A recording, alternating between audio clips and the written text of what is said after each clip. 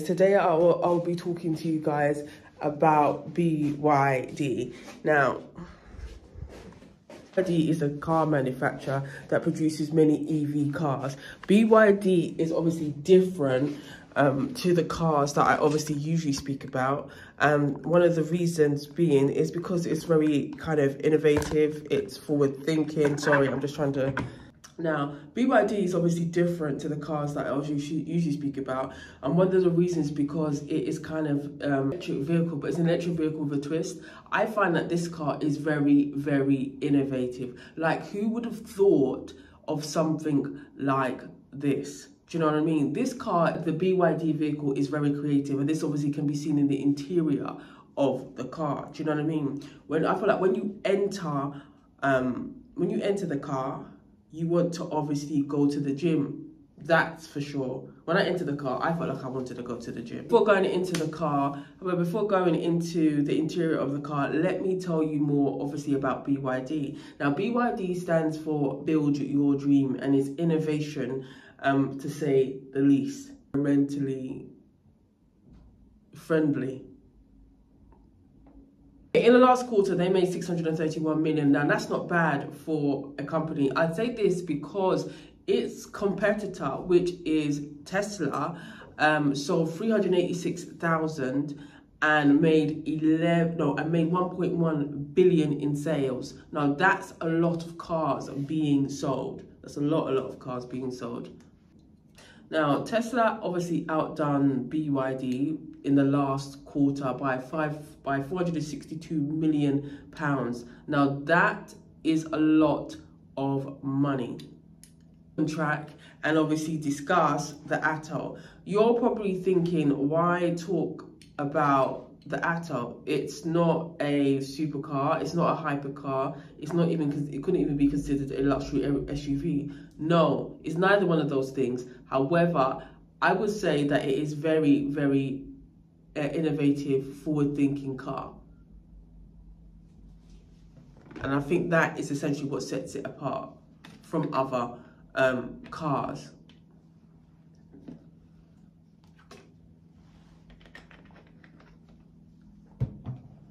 which is very simple. Now, the fact that it is obviously innovative and forward thinking, to say the least, it it obviously makes you want to. It obviously makes you want to get in some type of motion. Do you know what I mean? To say the least.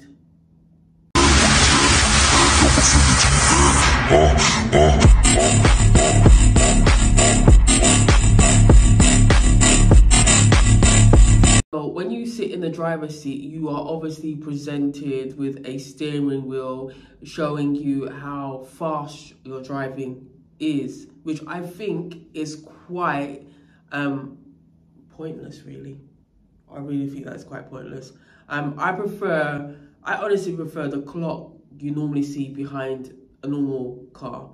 Um, take a look at what I'm talking about. I just don't see the point of it. Um, I honestly feel that uh, you know I feel like I feel like BYD um, interior in particular has drawn inspiration from other cars and kind of amalgamated that into one.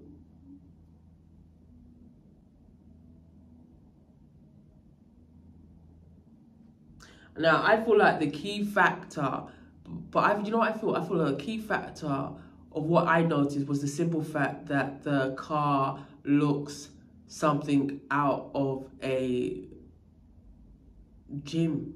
It really does. Just take a look at the interior and see what I'm talking about. The comfort and the design. The design is the top spec. Uh, remove your um, flip your red thing. Oh, sorry. Okay. uh, the design is the top spec. So on the design, you get an electric tailgate, mm -hmm. um, you get tinted back windows, and you mm -hmm. get a mm-hmm. larger infotainment screen than this. But mm -hmm. today we're sitting in the comfort model. Mm-hmm. Um, so most of the things you'll be using on the steering wheels. I'll show you the 360 degree view surround view monitor so you can have that up at all times not just for parking as well which is very helpful option good for safety especially um, here you have your intelligence cruise control which can be set up to 60 miles per hour and it's just a steer assist so just have to have your hands on the wheel and then it will brake and accelerate for you, which is very helpful. Um, also, this is your forward collision assist, so for when you're on the motorway, and your lane keep assist as well. It's very helpful. So those are most of the things you'll be using. And then if your infotainment screen, um, you can get it to your phone, so you can get Android Auto and Apple CarPlay as well. And at the front here, you have your wireless charging system, and then you have some extra storage underneath here and underneath here as well. So mm -hmm. yeah, you have a few options there, but that's most of the things you'll be using.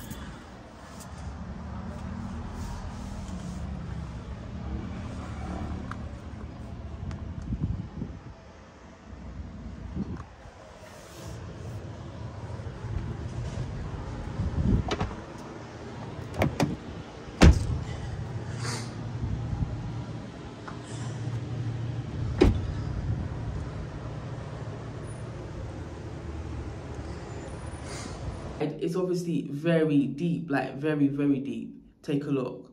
So you get enough kind of space to put whatever you want there, really. Up with the handrest is very similar to that of a treadmill as it has ripples engraved all the way across it. Took, um, I took the car out for a drive and let me tell you, it's very quick. It was it was a smooth drive. It has obviously different speeds that you can adjust accordingly. And I just feel like it's a very kind of unique and different car. When you look at the car, it's obviously you get the gear selector, which looks like dumbbells. Because why would it be shaped like that otherwise? Because that's what I was thinking. My first thought was this looks like dumbbells. Um, then you obviously have the monitor, which is obviously at the center of the car and is very and is very much your typical monitor. You can obviously um, listen to music, you can connect your um, devices. Um, then obviously at the door, um, there are obviously strings. Now these strings are, now these, for me, these strings are very intriguing. Like, why would you, why would you really put three strings at the door? Do you know what I mean? They're, yeah, why would you put three strings at the door? It don't make no sense to me. Um, and the thing is, when you pull on a string, it really sounds like you're trying to make music. My initial thought was, my initial thought was maybe they put that in place to prevent things from obviously falling out. But maybe this is just a kind of different outlook or different take on the interior of the car. Now the next thing I found is when you obviously move to the back of the car it's even kind of more spacious than the front by far. It has significantly um, it has significantly less going on. You're probably wondering how so well obviously when you're at the front of the seat there's so much like you got the get you got the gear stick you got the dashboard you got so much going on at the front. And with some high high end luxury cars you also get so much going on at the back. But this one it doesn't have so much going on at the back. First off three people can obviously get in the passenger side of the car. However um yeah, however, three people can get in the back side or the passenger side. However, three people can get in the back. However, if you decide to obviously put the handrest down, the number of pass the number of people that you can carry in the back is significantly limited, probably about two. Um, um, now the back, I feel like it's very spacious. It's huge. It kind of reminds me. It kind of reminds me of um, a Cullinan, a Rolls Royce. Said huge. It kind of reminds me of a Rolls Royce Cullinan. The car is very compact um, from the outside and you would probably not think that there is there is enough space but there is of the car it's actually very big the boot is very spacious it's deep and i mean deep deep deep um yeah it's it's very big and it's very spacious. Um it goes from in 0 to 60 seconds it peaks at 7.3 seconds. However i feel like i feel like there's obviously significant drawbacks for me for the car. One being that the car only comes in one standard color. One being that the, the one being that the interior of the car comes in one standard color but you're obviously able to change the exterior of the car to whatever you want. As they've obviously um, got varying different colors. So they've got lots of different colors for the exterior of the car but for the interior of the car it's just one standard color which i think is pointless really. And least but with the exterior of the car obviously you can have it in many different colors do you know what i mean cars are meant to be more cost efficient um, they're meant to be good um, for the environment. You pay little to no road tax on these vehicles. Um, not only that, as the car, and not only that, the car relies heavily on, as the car relies on electric, you could get the convenience of having a, like a charging station at home or or alternatively find your nearest um, electric charging station. So you can see that they are essentially thinking of the consumer in this particular vehicle, whereas most supercars, hypercars, they don't think about necessarily the consumer. I think I think they more just think about speed and luxury now, one thing I didn't mention is the battery. Yep, the battery.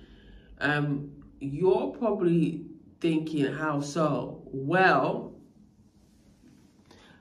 because, well, one of the reasons is because when I have previously um, spoken about electric cars, I was singing them from the rooftop. I was so into electric cars. I was like, yeah, electric cars are so great, blah, blah, blah.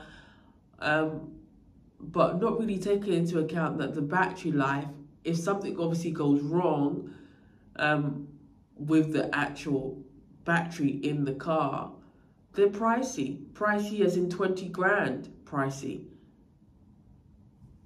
Or not, to be quite honest. Yeah, I'm unsure as to whether or not BYD Build Your Dream does refurbished um, batteries, but who knows? They probably do.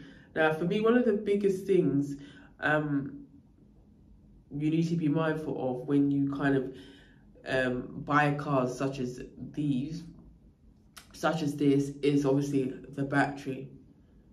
Ultimately, because I feel like the battery is the most one of the most expensive things.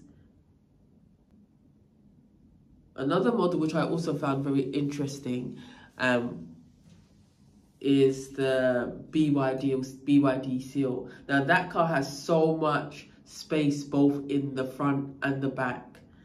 Um, yeah, both in the front and the back. It's a left-hand drive and it's very, very spacious. Um, so much spacious that you can even fit golf clubs and um, and pack it in the in the passenger side of the back of the car. You could put your golf clubs in the back of the car, in its bag at the back of the car, because it's so, so big. Um, anyway, those are my thoughts on the BYD. I feel like it's a very, very innovative car. Um, it's very, it's obviously very popular because it made 632 million in the last quarter. So, yeah, that's my thoughts on the car. Anyway, peace out.